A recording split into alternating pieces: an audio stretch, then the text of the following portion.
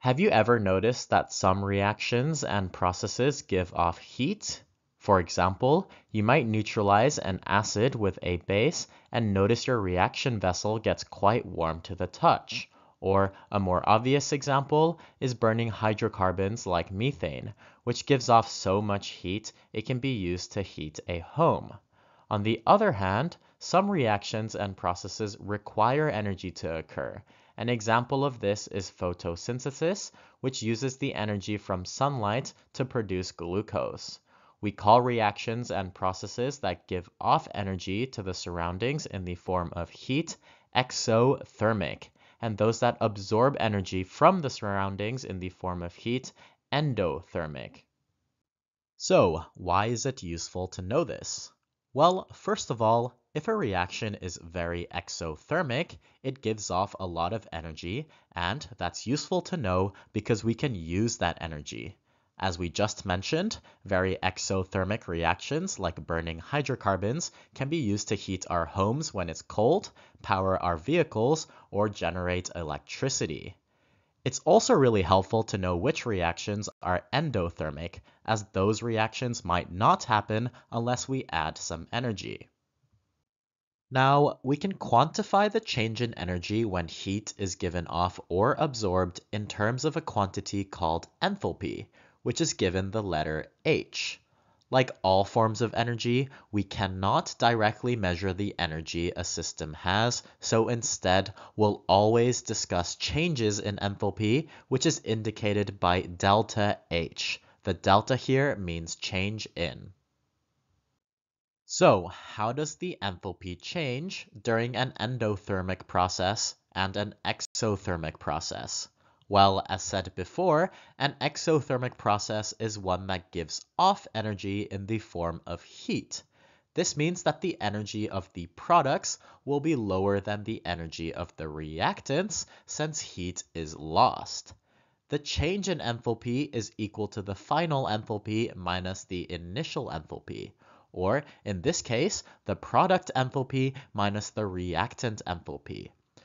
Since that product enthalpy is lower, the enthalpy change for an exothermic reaction is always negative.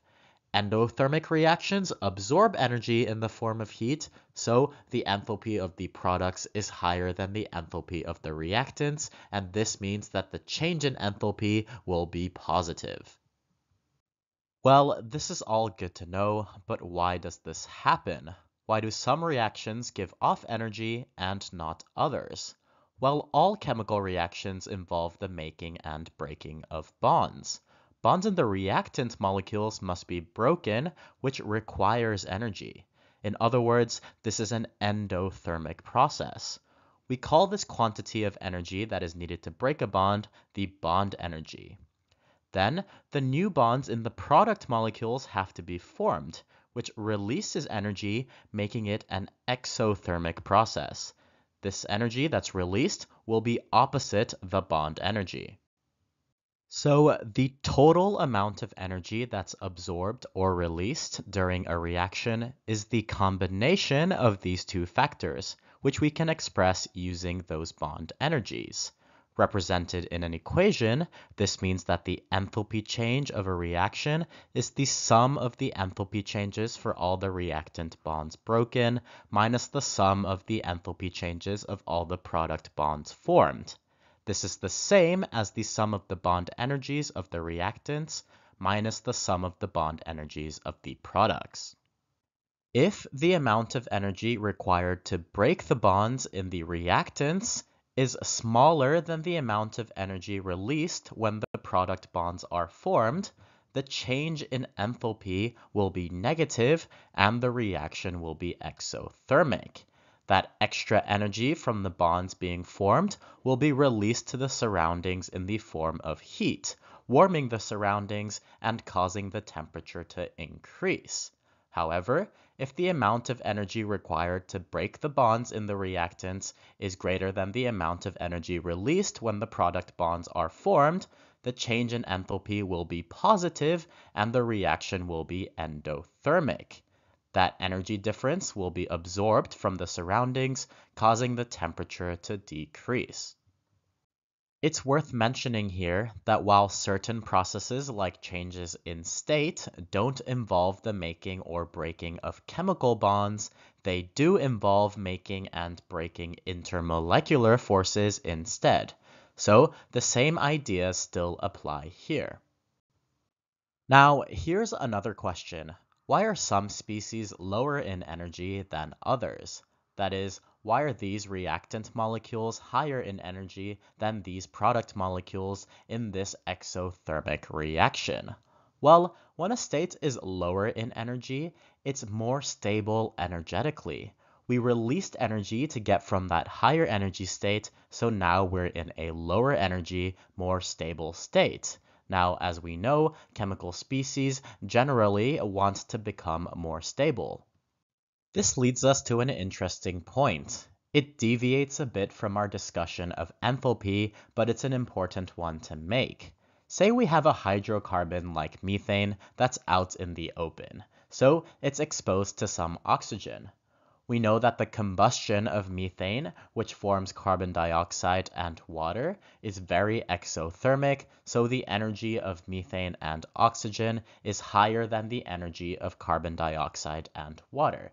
In other words, carbon dioxide and water are much more stable. As we said, chemical species want to become more stable, so why doesn't methane spontaneously combust in oxygen? We all know that it doesn't. We actually need to provide some energy to get this reaction going. Why is that? Well, as we said earlier, we need to break bonds in the reactant molecules to get the reaction going, and this requires some energy. The energy that is required to start the reaction is called the activation energy. Essentially, those reactant molecules need to hit each other with enough energy for the reaction to begin. In the case of the combustion of methane, our reactants just don't have enough energy at room temperature to overcome the activation energy and break those bonds in the reactants. So even though a reaction is exothermic, it may have a high activation energy, which means the reaction won't happen unless we put in some energy. And the change in enthalpy just doesn't tell us about that. Now we've gone through quite a bit of theory, so let's talk about how we can put this to practical use. How do we go about measuring all of this? Well, as we know by now, these reactions involve changes in heat, which will change the temperature of the surroundings. There's a relationship between a change in temperature and the amount of heat that is released or absorbed, and this is Q equals mc delta T. Here, Q is the heat that is released or absorbed, m is the mass, C is the specific heat capacity which is unique to each substance, and delta T is the change in temperature. We can accurately measure the temperature change during a reaction or process, which can then be used to calculate the heat by performing something called a calorimetry experiment. In a calorimetry experiment, we measure the temperature of a reaction or process by performing the reaction in an insulated container so that the heat doesn't escape the reaction vessel. Say we want to know the change in enthalpy for an exothermic aqueous reaction. We could perform that reaction in our insulated container and then measure the temperature change. During the course of the reaction, the reactants will release heat, which will be absorbed by the water the reactants are dissolved in. This heat exchange will cause the temperature of the water to increase, which we'll measure. Now that we know the change in temperature during the reaction, we can use our equation to calculate the heat the water absorbed using the mass of water in the solution and the specific heat capacity of water, which happens to be 4.18 joules per gram per Kelvin. Of course, we didn't really want the heat the water absorbed, we wanted the heat the reaction gave off. But these two quantities are equal in magnitude, just opposite in sign. That's because we're performing this experiment in an insulated container, so whatever heat the reaction gives off will be absorbed by the water. And if we know the heat the reaction gave off, we can calculate the molar change in enthalpy as the change in enthalpy is equal to the heat divided by the amount in moles of one of our reactants or products. Let's end with an example applying the equation Q equals mc delta T. The question is as follows. In a calorimeter, a reaction in a solution of 100 grams of water raises the temperature from 20 to 30 degrees Celsius. What is the heat given off in joules? Q is the heat given off. This is of course what we're solving for, and we want this in the units of joules. M is the mass, and we're given this in the question as it says that the reaction happens in a solution of 100 grams. The solution is made up of water as the solvent, so we know to use the specific heat capacity for water, which is 4.18 joules per gram per Kelvin. Finally, delta T is the temperature change, which is the difference between 20 and 30 degrees, 10 degrees. Importantly, a difference in 10 degrees Celsius is the same as a difference in 10 degrees Kelvin, since the absolute Celsius and Kelvin scales are the same, just shifted by different amounts.